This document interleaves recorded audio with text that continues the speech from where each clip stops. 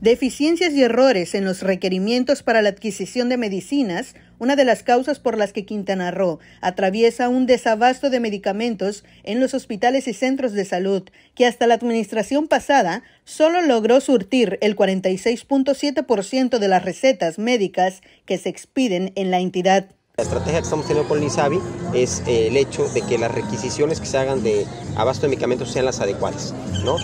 Entonces, esto, esto, es importantísimo porque si yo no requiero lo que, lo que de verdad necesito, evidentemente no voy a llegar a un abasto fuerte. Sí, estamos fortaleciendo, estamos fortaleciendo claramente el abasto de medicamentos. Eh, repito, es una estrategia, es un tema paulatino, pero está, está, está creciendo claramente. Carlos Flavio Rosado afirmó que para este 2023 está garantizada la adquisición de medicinas de manera ordenada y efectiva. Fuimos buscando el hecho de analizar perfectamente qué consideramos respetuosamente que, que no se había hecho adecuadamente para nosotros no, no tener las estrategias inadecuadas, sino las correctas. Y ahorita ya estamos haciendo todas las modificaciones que sean necesarias en las requisiciones para que todo lo que nos vaya llegando, todo lo que nos vaya llegando ahorita en 2023 sea lo que debe ser. Y es que su antecesora, Alejandra Aguirre Crespo, dijo en su momento que el abasto de medicinas apenas alcanzaba un 50% en la entidad.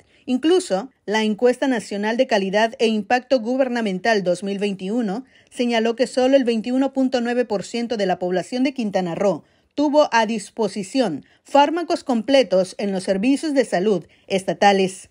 Notivisión Rosy Dorado.